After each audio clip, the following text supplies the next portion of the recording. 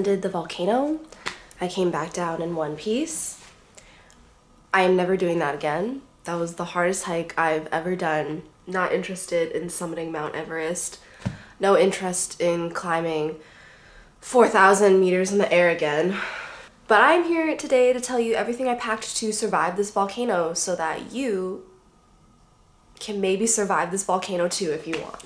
Why does this volcano even need surviving? This website says it can be 20 plus degrees Celsius, aka 68 degrees Fahrenheit in the day as you hike up, and get down to below 0 degrees Celsius, 32 degrees Fahrenheit at night. So on the way up, it was pretty okay, but at night, I was dying. And there's a lot of people who want to do this hike at night to actually go to the mouth of the volcano and then come back down and you will you'll be fighting for your life. I think I want to start off by just showing you our sleeping quarters so you can get a sense of how cold exactly it was. Depending on the tour company you use, the cabins that you sleep in will be a little different. So after I had already descended the mountain, I met some other people who told me they use these other companies and they were like, Were you cold at night? And I was like, Yeah, I was really cold at night. And they were like, I wasn't cold at all. And they had these cabins with double bunk beds and they were like double insulated. Um, but this was our cabin. Here's the tour. Oh my god, welcome in. Thank you for wanting to see my So it was really cold. We have a cabin where there are four And I don't know if you can tell in my voice, but I do I do think I came down with a little bit of It something overlooks the afterwards. volcano. There were girls who were sick on our hike, so that might be part of it. Uh, but the extreme temperature definitely played a role for me, and I did get crazy headaches from altitude sickness. With that being said, let's get into what I packed to survive. Like the article said, it gets pretty warm on the way up, and you are pretty much walking a 45 degree incline through stone and volcanic ash for five hours. So you want to wear sweat wicking layers. Starting with my base layer, I wore these like six or seven inch Nike bike shorts underneath, and then I wore these waterproof hiking pants from REI. This is what I wore on the bottom. It is supposed to get pretty wet potentially during the cloud forest, which is the second leg of the hike. And these hiking pants, these waterproof hiking pants have been serving me pretty well. They keep me dry and happy, and they're also really breathable. So I found that wearing these over bike shorts was more than enough cover on the way up. And also, if you fall, your legs are covered. I can't believe I even have to talk about the possibility that you might fall.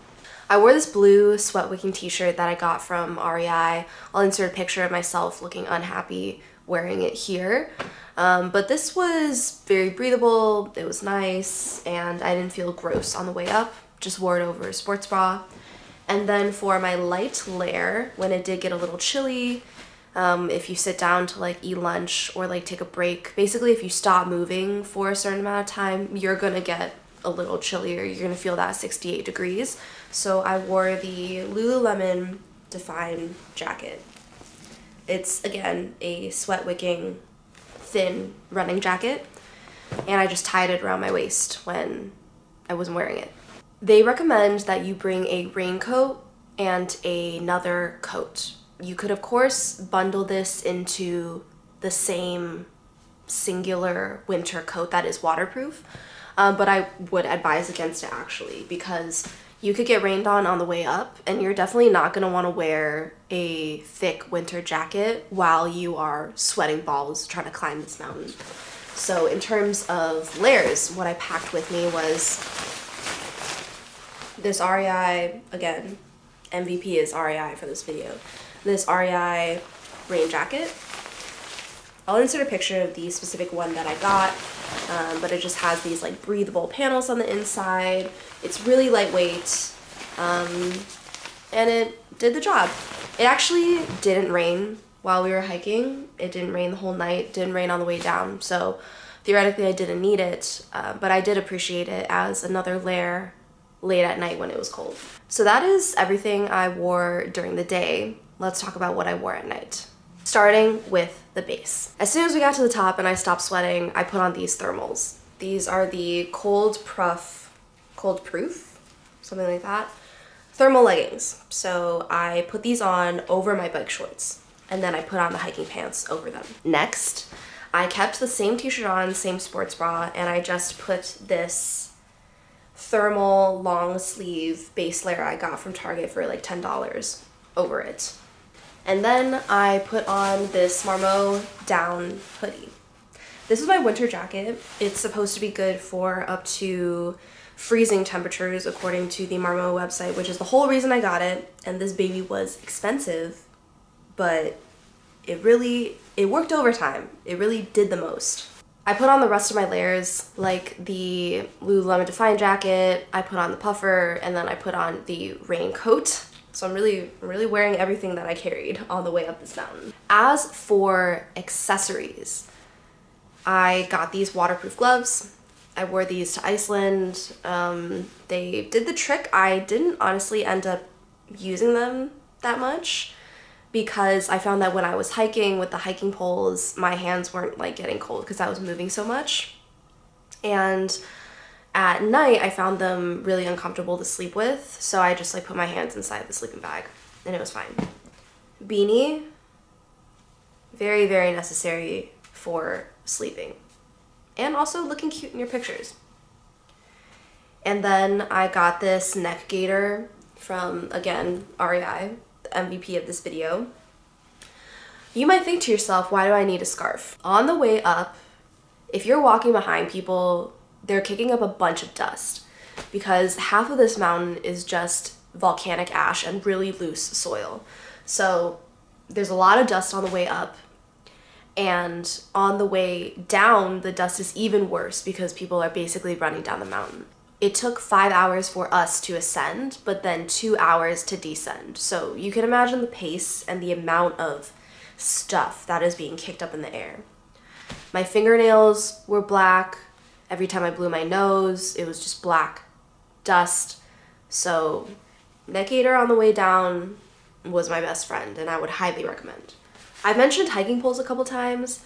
I had hiking poles and you don't need to bring them with you to Guatemala. You don't need to bring like any of this stuff with you to Guatemala because the rest of the country is pretty tropical and very warm. You can rent all this from any of the hiking companies that you're going to want to go with for this tour. But hiking poles. You might think to yourself, I don't need those. Why do I need to spend an extra like 2 American USD to get these poles. I got mine from REI once again, and I just carried them in my duffel the whole time I was in the country. But even if I had not gotten them, I would rent them. Over all of this stuff, I would rent those. Two of my friends did this mountain without them, and you you can do it. You can go up and down. But if you can make yourself more comfortable, you should do it. This is a long hike. It's really hard and just do your future self a favor by getting hiking poles. Kevin actually did the second leg of the tour, which was the Fuego hike. I didn't do it because once I got to base camp, I was like actually tapped out. And it's um, technically extra if you want to go to Fuego. But he actually asked me for my hiking poles because he had gone up the mountain without them. And he was like, if I'm to go up the rest of this volcano, I really need some support. So even if you don't have back problems, even if you haven't traditionally used hiking poles, I would get them for this. And almost every single person we passed also had them. The next thing you're gonna want is a headlamp. Even if you don't plan on doing that second Fuego hike after you get to base camp, you might wanna do like a sunset hike, you might wanna go to the bathroom when it's dark outside, and you will want a headlamp. Also, to possibly do the sunrise hike in the morning, or if your tour group is going to start descending the mountain pretty early in the day, you're going to want a headlamp, which again, REI MVP. And the last thing is a backpack. What did I carry all this stuff in when I wasn't wearing it? I got the Eddie Bauer stowable packable 20 liter backpack and it just looks like this.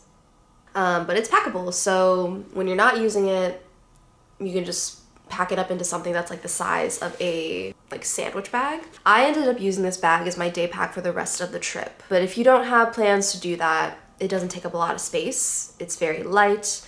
You will notice that it distinctly lacks like the clips that provide some support for your shoulders when you're hiking. I'm not gonna lie, it did get a little annoying. Obviously, when you're hiking for five hours, anything you're carrying gets annoying. But it was pretty compact, and I was able to fit all of these jackets, all of these accessories, and two meals that the tour group gave us while I ascended the mountain, plus two um, liters of water. It's a pretty sturdy device. It was pretty handy.